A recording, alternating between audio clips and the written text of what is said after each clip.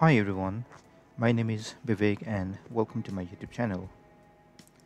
This is the 13th and final episode to add custom jQuery components on a fitness website. In the previous episode, we worked on load more post and today we'll work on this responsive burger menu. First of all, let's check the HTML structure using developer tool.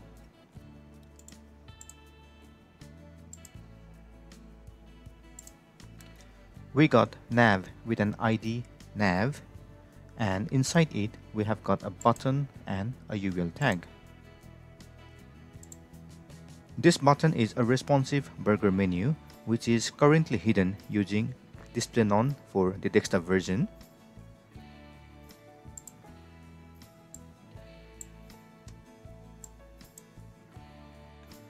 But for tablet and mobile version, using the media query, we have used display block to show them.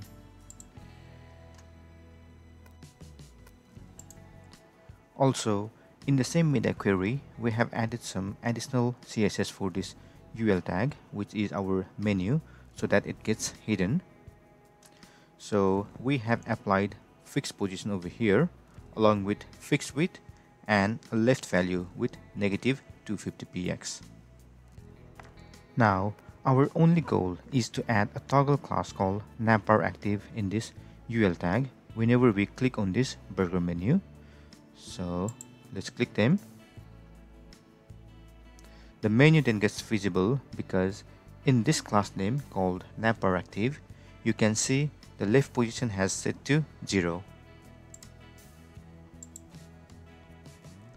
Now let's add them in main.js. We have to add click event for this button. So I will copy this class name. And then I will open the main.js and then here.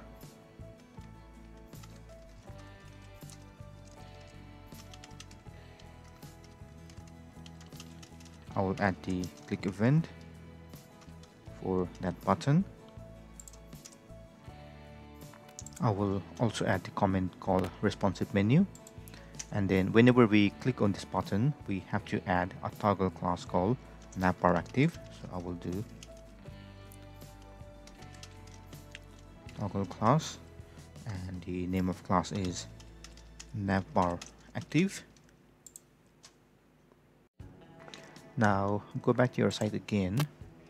And you can see this UL tag is next to this button so over here we can say dollar this dot next dot toggle class.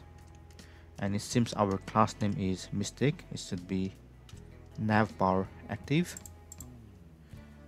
Once done you can go to the site. You can open your tablet or mobile version. And if you click on this burger menu you should see a menu over here Great. This is the end of this final session. Feel free to comment below if you have any questions. Also please don't forget to like, share and subscribe to my channel to get more tutorials in the future. Finally, thank you so much for choosing my YouTube channel to learn jQuery components. I will see you again next time with the next course. If you want some hosting companies, then you can check the link in the description below. Thank you and all the best.